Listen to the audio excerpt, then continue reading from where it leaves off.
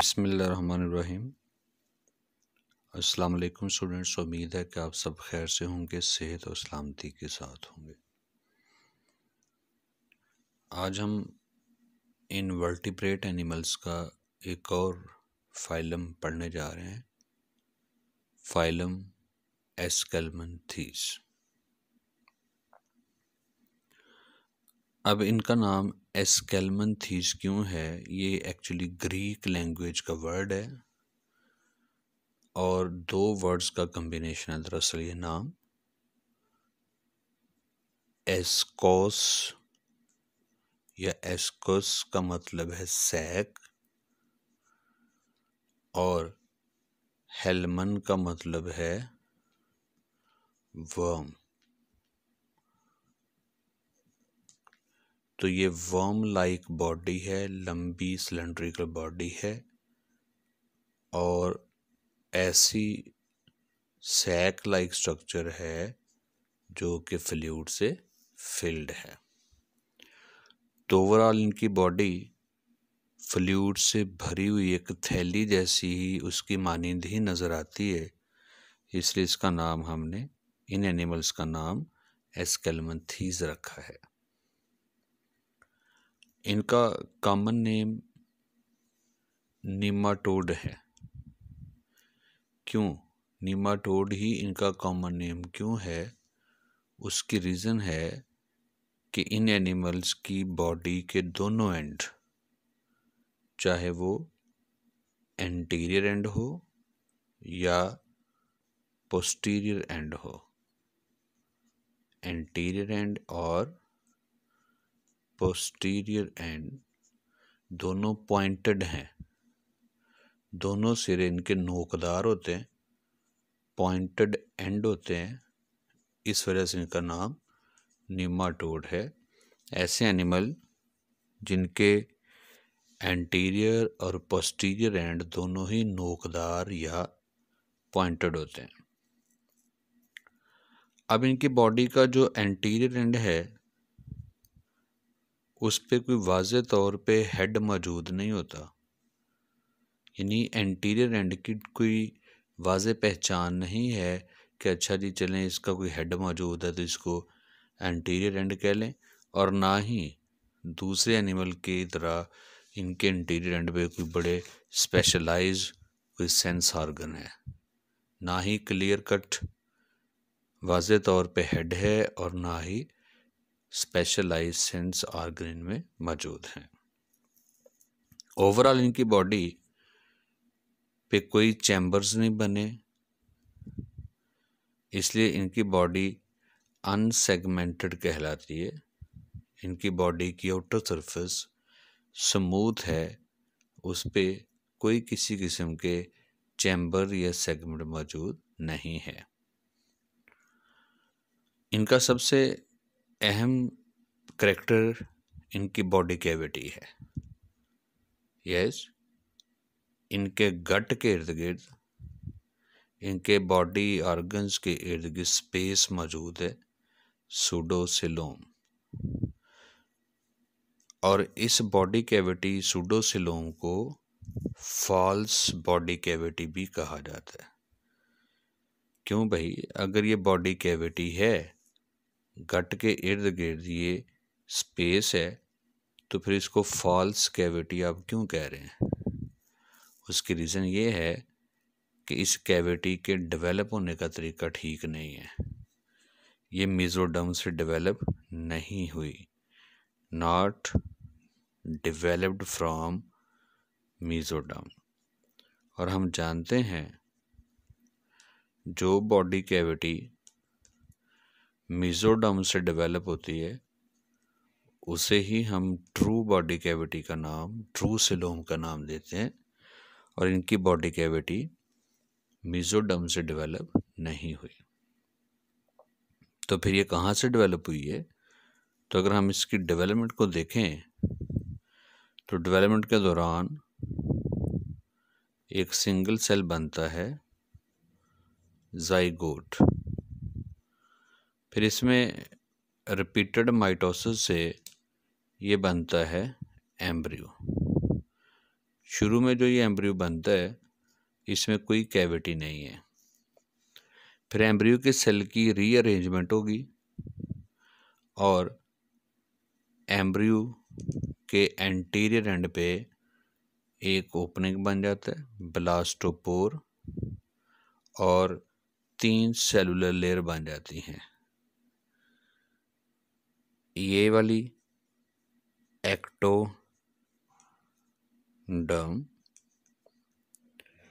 ये सेंटर वाली एंडोडर्म और इन दोनों के दरमियान एक तीसरी लेयर भी बन जाती है, जिसको मैं रेड कलर से मेंशन कर रहा हूँ। ये ये है मीजोडम तो इसका मतलब है एम्ब्रियोनिक स्टेज पे तीन लेयर मौजूद हैं, सेलुलर लेयर मौजूद हैं। तो इनको ट्रिपलो ब्लास्टिक एनिमल हम कह सकते हैं। अब ये जो गट के इर्द की स्पेस है, जहाँ पे मैं ये डॉट्स लगा रहा हूँ, एम्ब्रियोनिक स्टेज पे इस कैविटी को ब्लास्टोसील कह दिया जाता है। और डेवलपमेंट मुकम्मल होने के बाद यही ब्लास्टोसील एक्चुअली पूरी बॉडी की कैविटी बन जाती है, जिसे हम सूडो सिलोम का नाम देते हैं।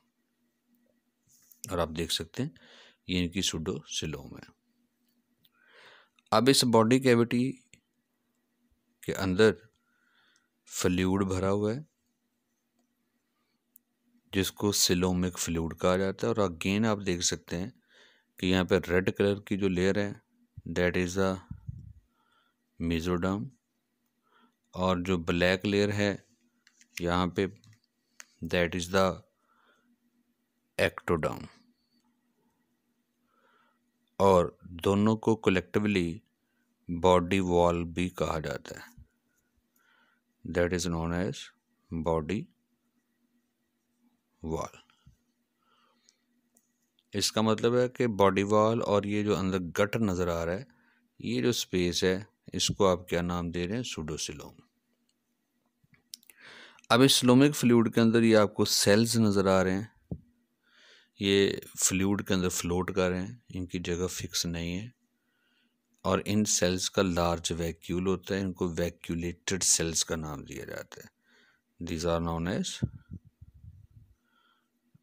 vacuolated cells. अब इन सेल का काम क्या है? इनका काम है कि इन सेल्स के अंदर प्रोटीन पैक होती है। अब प्रोटीन पैक होने की वजह से फिर इनके अंदर वाटर भी ज़्यादा एंटर होता है।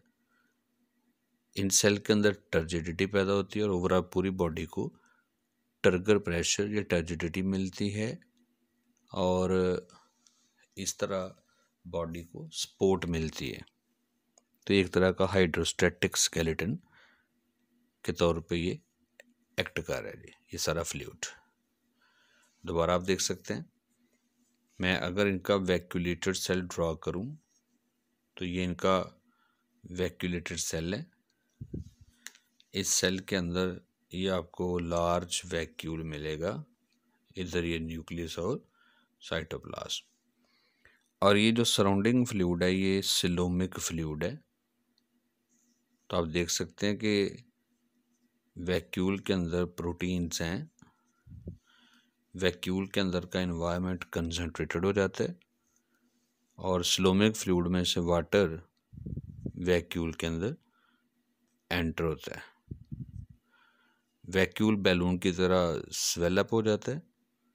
और पूरा सेल इसमें टाइटनेस आ जाती है। इसी तरह सिलोमिक फ्लूड में मौजूद तमाम सेल में इस तरह की टाइटनेस आ जाएगी और पूरी बॉडी को इंटरनली अंदरूनी तौर पे एक सपोर्ट मिलती है, एक सहारा मिलता है। अब इनका जो गट है, ये ट्यूब लाइक होता है, यानी इसमें दो ओपनिंग होती हैं एंटीरियर एंड पे माउथ और पोस्टीरियर एंड पे एनएस है।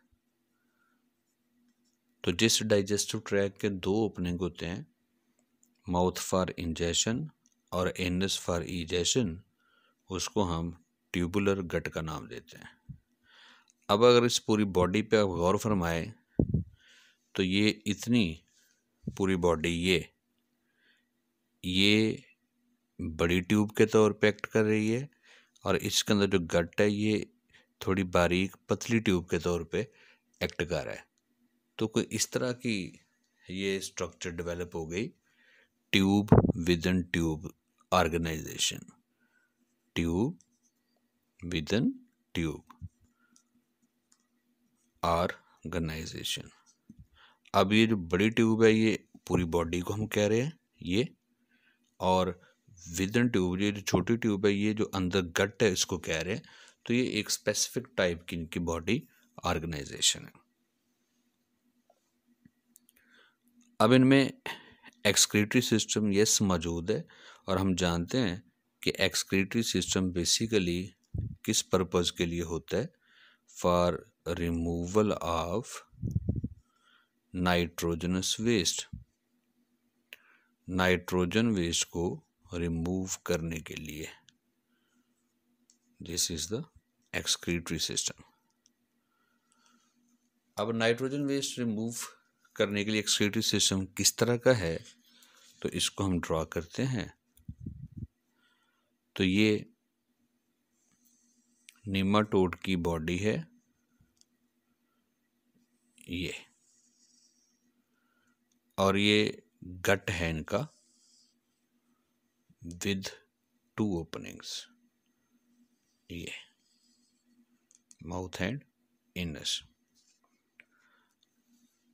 अब ये जो गट है, इसके ऊपर से लंबी एक डक्ट आती है, ये, और एक डक्ट आती है गट के नीचे से। और ये डक्ट सूडोसेलोम के अंदर लटक रही है। इस डक्ट को हम नाम देते हैं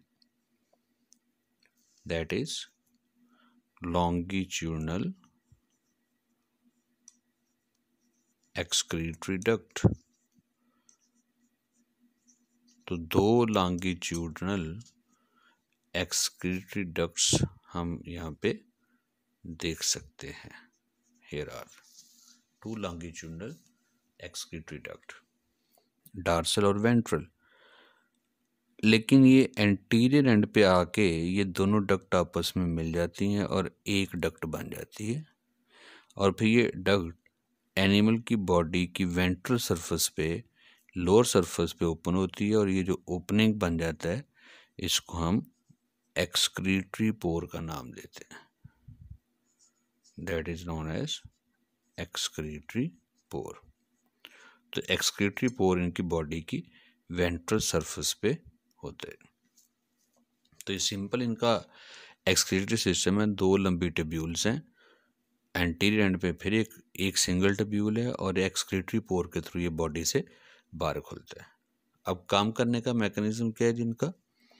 स्लोमिक फ्लूड में से नाइट्रोजन वेस्ट इन टब्यूल्स में अब्जॉर्ब होते हैं और एक्सक्रीटरी पोर के थ्रू वक्फे वक्फे से इंटरवल्स के साथ इनको बॉडी में से रिमूव कर दिया जाता है। अब इनके नर्वस सिस्टम की बात भी कर लेते हैं। तो इनका नर्वस सिस्टम कैसा है? उसको भी हम सिंपल एक डायग्राम से शो करते हैं। ये निमाटोड की बॉडी है, हेयर, ये। ये गट का माउथ के बाद जो फ़र्स्ट पोर्शन है ये ये इसका फेरिंग्स है और बाकी ये सारा गट है, इंटेस्टाइन। हम इसको लेबल कर देते हैं। ये पोर्शन है इसका गट का फेरिंग्स। माउथ से पीछे। है अब इस फेरेंग्स के इर्द गिर्द न्यूरॉन्स पर मुश्तमिल न्यूरॉन से मिलकर बनी हुई एक रिंग लाइक स्ट्रक्चर होती है इसको हम नाम देंगे that is the nerve ring nerve ring इसका वही काम है जो हमारी बॉडी में ब्रेन का काम है। अब इससे दो लम चार लंबी नर्व्स निकलती हैं। ये दिस वन ये डार्सल नर्व इसको मैं कह रहा हूँ डी एन से मेंशन कर रहा हूँ। That is a dorsal nerve और फिर एक गढ़ से नीचे that is the ventral nerve और इसको मैं मेंशन कर रहा हूँ वी एन से। फिर ये एक और मैंने नर्व ड्रॉ की, ये वाली। और ये लेटरल नर्व है, इसको मैं एल एन से रिप्रेजेंट कर रहा हूँ।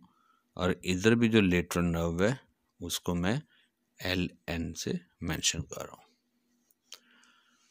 अब इनकी पोजीशन आप इस तरह से समझिएगा कि ये जो मार्कर है ये सिलेंड्रिकल बॉडी निमाटोड की। और ये समझें कि ये गट है। अब एक नर्व एक गट के ऊपर से गुजर रही होगी। इसको हम कहेंगे डार्स नर्व एक नर्व इस गट से नीचे गुजर रही है। इससे हम कहेंगे वेंट्रल एक नर्व ये इसकी राइट साइड से गुजर रही है। इसको कहेंगे लेटरल और एक इधर से लेफ़्ट साइड से गुजर रही होगी, उसको भी हम क्या कहेंगे? लेटरल।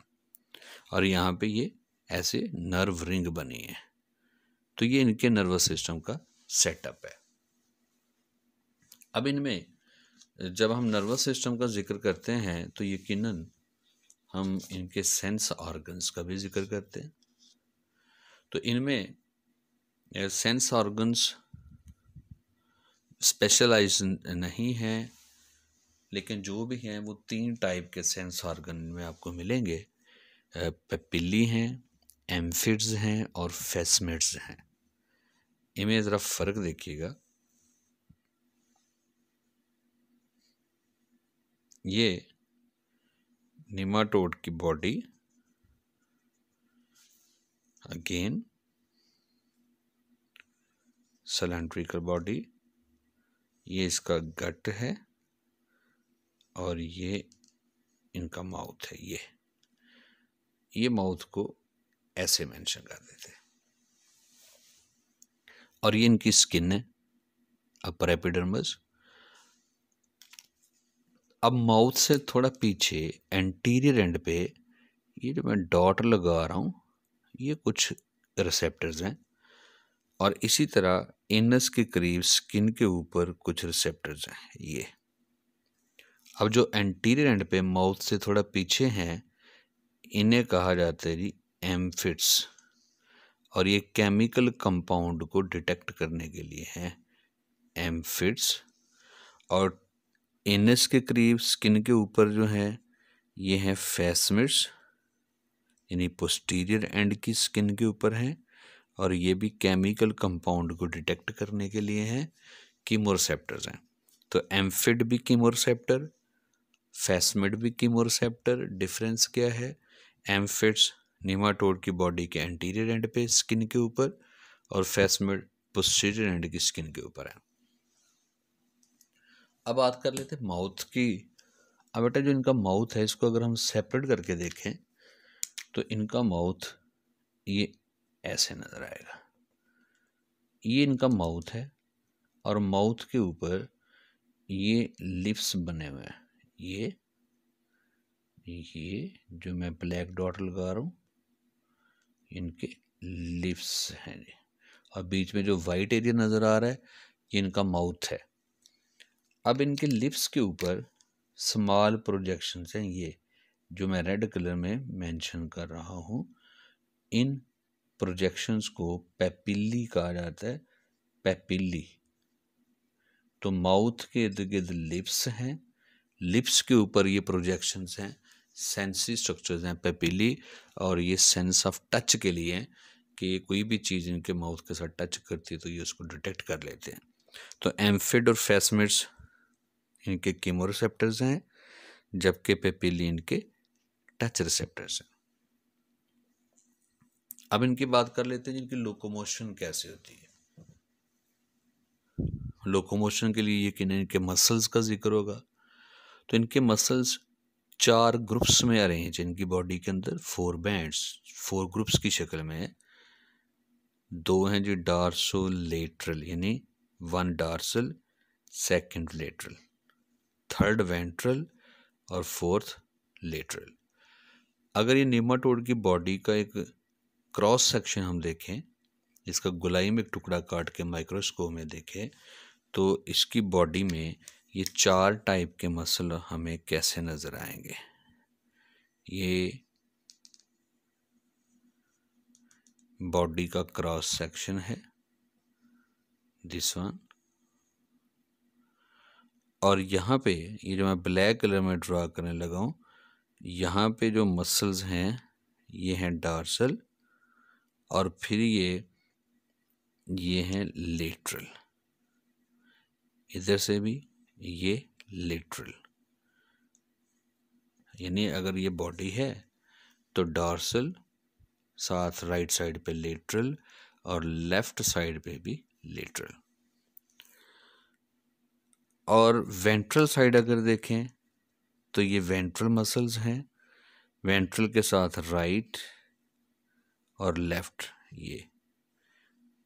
तो ये हो गया जी dorso lateral muscles. Dorso lateral. और ये वाले जो हैं, इनको हम नाम दे रहे हैं वेंट्रो लेटरल। ये। तो ये इनकी बॉडी में चार ग्रुप्स हैं मसल्स के। अब इनकी मदद से जो लोकोमोशन होती है, वो लोकोमोशन अंडुलेशन है। अंडुलेशन कोई इस तरह की मूवमेंट है जी, ये वेंट्रल सरफेस पे बॉडी बेंड होती है, फिर डार्सल सर्फ साइड पे, फिर वेंट्रल साइड पे, फिर डार्सल पे तो ये इस तरह लहरा के मूव कर रहे हो तो ये वेव की शक्ल में मूव करें इसको अंडुलेशन कहा जाता है।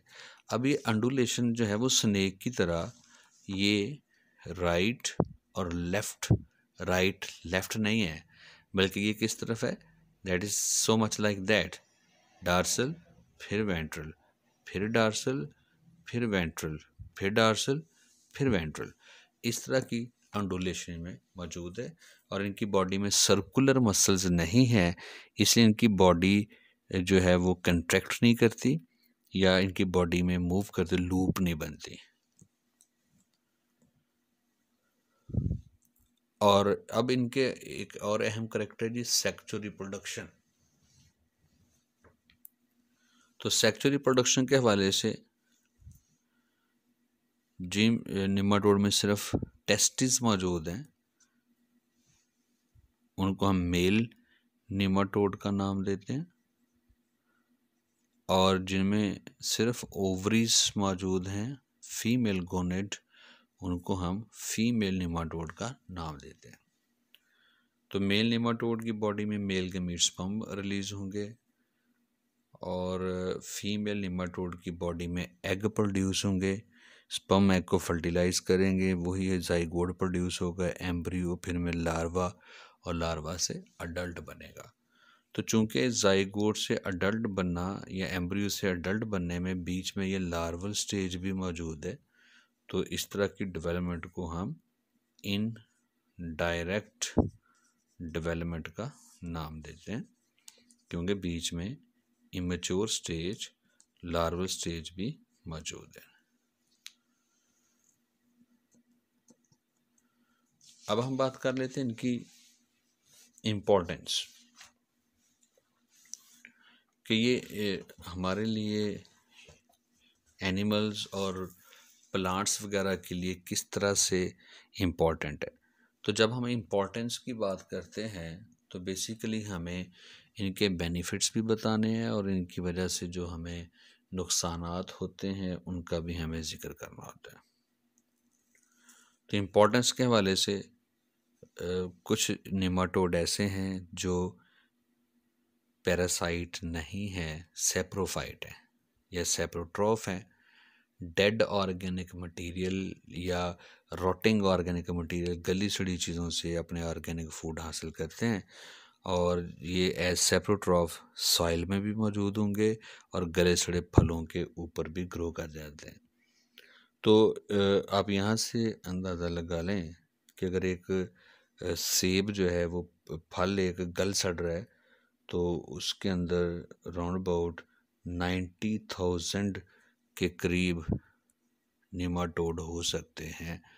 नाइन्टी थाउज़ेंड निमाटोड और सॉइल जो है, एक एकड़ ज़मीन की सॉइल में बिलियन के करीब निमाटोड मौजूद होते हैं।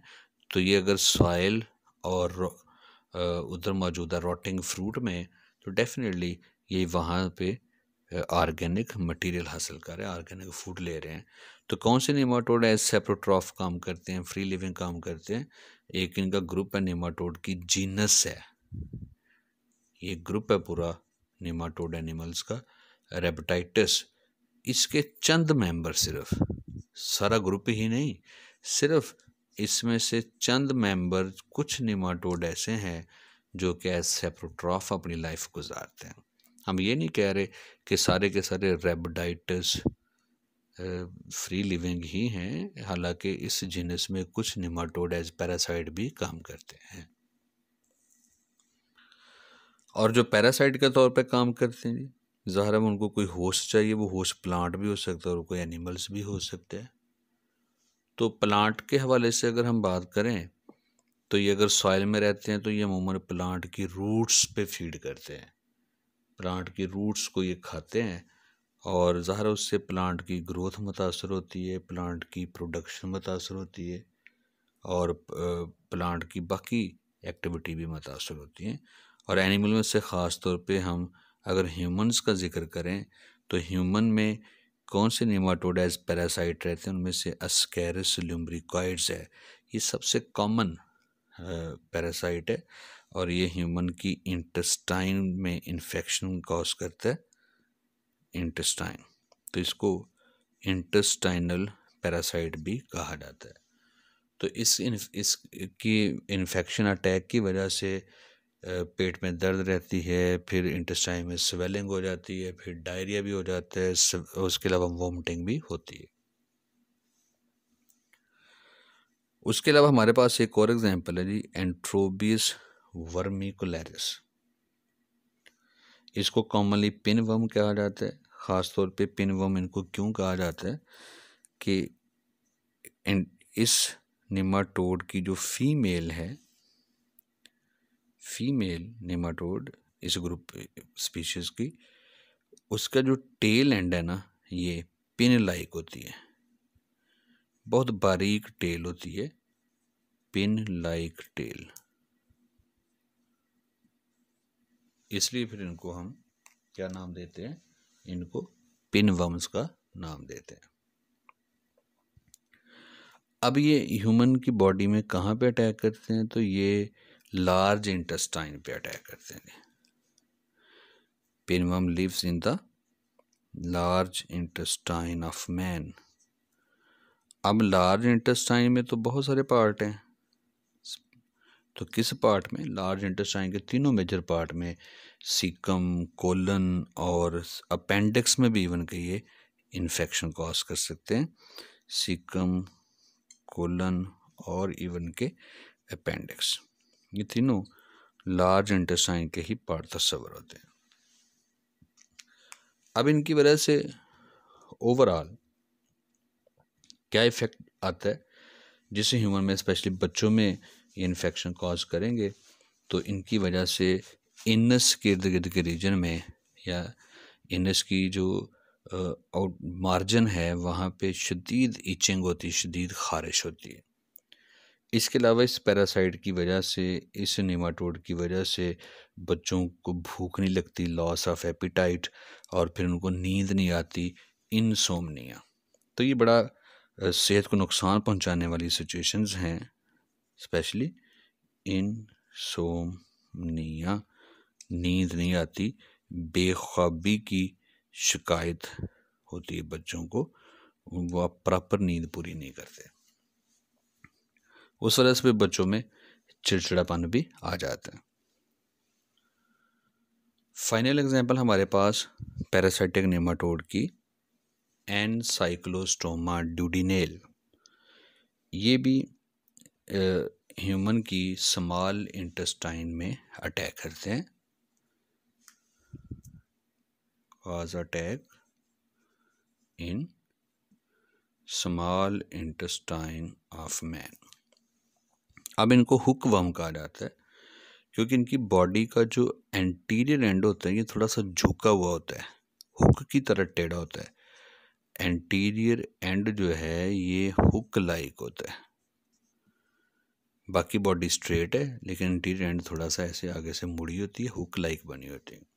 इसलिए इनको हुक वम्स कहा जाता है। अब ये स्मॉल इंटेस्टाइन में रहकर क्या करते हैं? तो हम जानते हैं कि हमारी स्मॉल इंटेस्टाइन का एक पोर्शन है ईलियम ये मैं अगर ड्रा करूँ, ये ये वाला। ये। अब इसके अंदर हमें पता है कि ये इस तरह प्रोजेक्शंस होती हैं, ये which are known as villi, जहाँ से डाइजेस्टेड फ़ूड ने अब्जॉर्ब होना होता है, विलाई। तो ये पैरासाइट क्या करते हैं? ये विलाई के साथ चिपक जाते हैं, ये ऐसे, ये जो ब्लैक में ड्रा कर रहा हूँ, ये हुक वॉर्म है, जो विलाई के साथ अटैच हैं। और विलाई में से ब्लड को सक करते हैं।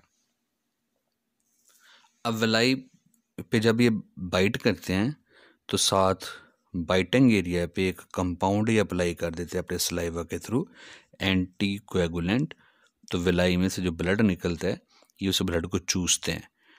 लेकिन एंटी कोएगुलेंट जब ये अपना पेट भर लेते हैं, अच्छी तरह ब्लड को सक कर लेते हैं तो बाद में विलाई को जब ये छोड़ देते हैं तो एंटी कोएगुलेंट की वजह से विलाई में से ब्लीडिंग जारी रहती है ब्लड क्लॉट नहीं होता। हालाँकि ये तो अपना मकसद पूरा कर चुके हैं। इन्हें ब्लड सक करना था ब्लड सक कर लिया। लेकिन जो इनके सलाइवा में एंटी कोएगुलेंट था, उस वजह से विलाई में से काफ़ी देर तक खून निकलता रहता है। तो इससे पेशेंट में खून की शदीद कमी का भी सामना करना पड़ता है। और इसकी वजह से फ़िज़िकल और मेंटल हेल्थ या मेंटल ग्रोथ, ख़ास तौर पर बच्चों की, वो मुतासर होती है। तो दैट्स ऑल अबाउट एस कैलमथीज और नीमा टोड अपना ख्याल रखिएगा। असलकम